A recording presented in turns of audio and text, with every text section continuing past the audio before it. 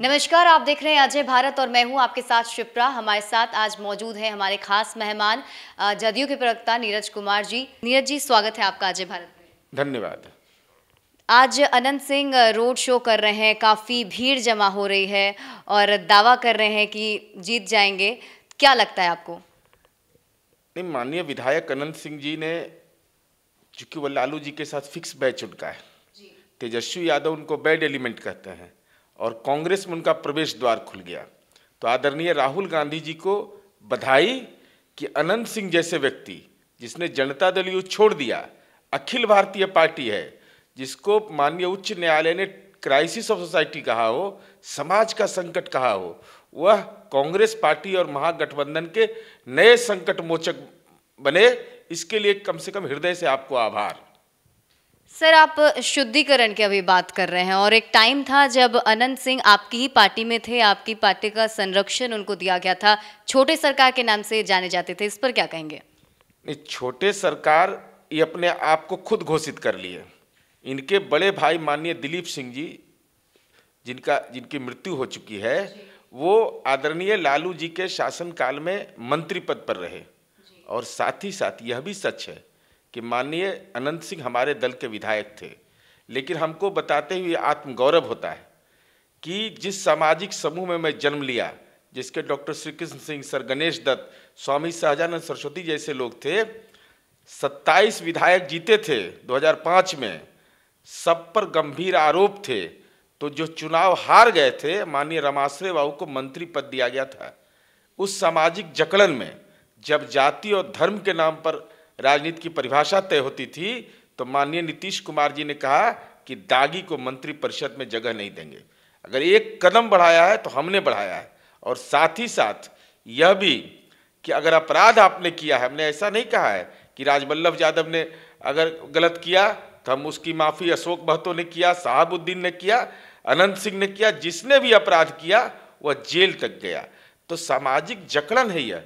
जाति और धर्म उसका इस्तेमाल हम कर करके हम ही उनका कानूनी इलाज भी जानते थे। तो देख लीजिए आज कहाँ पहुँच गए। जहाँ वंश गोत्र मिल रहा था राजनीति का एक मॉल वाले होटवार में होटवार में दूसरे मॉल वाले रास्ते में पाइपलाइन में। तो अनंत सिंह को हराने की बात कर रहे हैं आप लोग। लेकिन एक टाइम था जब अनंत सिंह निर्दलीय चुनाव लड़े थे और वो चुनाव में वो जीत भी गए थे। ना कांग्रेस साथ थी ना बीजेपी। और इस बार तो शायद कांग्रेस उनके साथ खड़ी भी होगी। नहीं यह दावा आज से पहले किया सकता था। कांग्रेस पार्टी में जा रहा है तो तेजस्वी यादव की कोई राजनीतिक हैसियत नहीं है क्या? कि जिसको वो बैड एलिमेंट कहे उसको कांग्रेस स्वीकार करने को तैयार है? सर आखिरी सवाल आपसे मेरा कि ललन सिंह को जिताने के लिए क्या नीरज कुमार पूरी ताकत झोंक देंगे? नहीं देखिए सबसे महत्वपूर्ण है कि माननीय ललन सिंह जी बिहार सरकार के माननीय मंत्री हैं।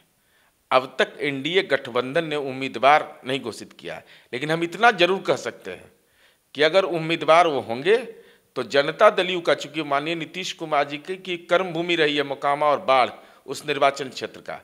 तो जनता दल यू नहीं पूरे आम जन से वो जुड़े हुए रहे हैं। अब तो ये होट हैट टोपी वाले तो आज पोलिंग एजेंट खोजने गए हैं ना मुंगेर तक। भाई लोकसभा लिखने नहीं आता वो लोकसभा जाने की तैयारी है। तो माननीय अनंत सिंह जी का जो आज रोड शो है वो पोलिंग एजेंट खोजने के लिए है। आई लाखों की भीड़ जमा हो रही थी। इनके साथ एक लाख आदमी चल रहा था।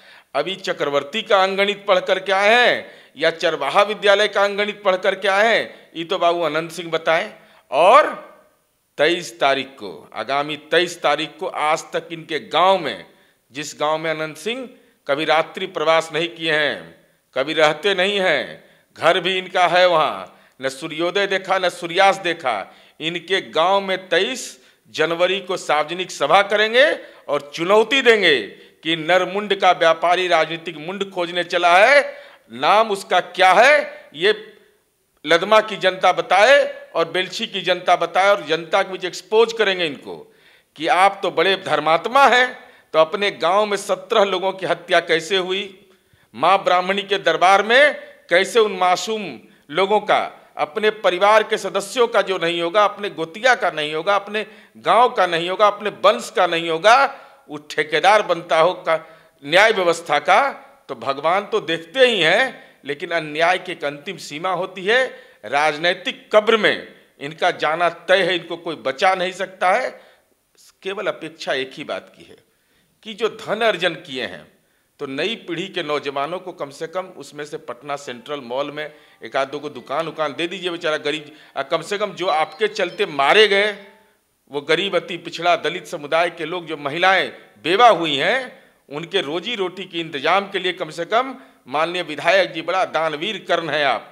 तो कृपा कर करके उन परिवार को सेंट्रल मॉल में हिस्सा दे दीजिए, उनको दिल्ली की संपत्ति में हिस्सा दे दीजिए, और नई पीढ़ी को बताइए कि हम छुरछुरी पटाखा हैं।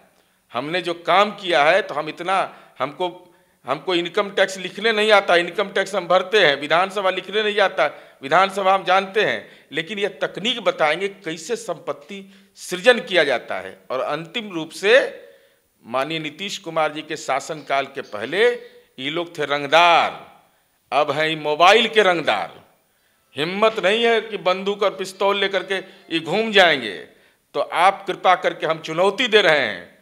कि समाज का जो सबसे महादलित समुदाय है, अति पिछड़ा है, कृपा करके किसी भी राष्ट्रीय जनतांत्रिक गठबंधन के कार्यकर्ता को आपने फ़ोन कर दिया और मोबाइल पर अपनी भाषा में दबाव दिया तो ऐसा कानूनी इलाज वो करेगा गरीब आदमी कि आपकी तमाम मॉल से लेकर दिल्ली तक की संपत्ति रह जाएगी और आप जेल पहुँच जाएँगे।